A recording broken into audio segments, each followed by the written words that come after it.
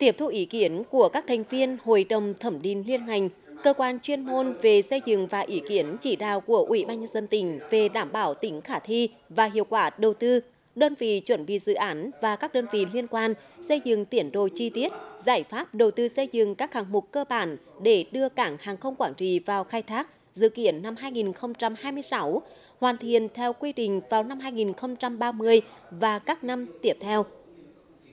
sau khi nghe chủ đầu tư, đơn vị tư vấn và ý kiến của các sở ngành liên quan, ủy ban nhân dân tỉnh đã lấy phiếu biểu quyết của các thành viên ủy ban thông qua báo cáo nghiên cứu khả thi dự án thành phần hai xây dựng cảng hàng không và nhận được sự ủng hộ rất cao của các thành viên ủy ban nhân dân tỉnh.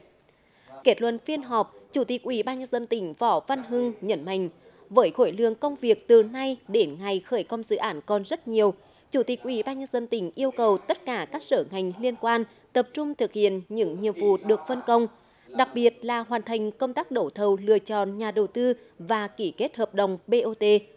Sau khi lựa chọn được nhà đầu tư, yêu cầu nhà đầu tư chuẩn bị nguồn lực, nhân lực, vật lực để triển khai thực hiện, tránh tình trạng khởi công rồi đắp chiếu.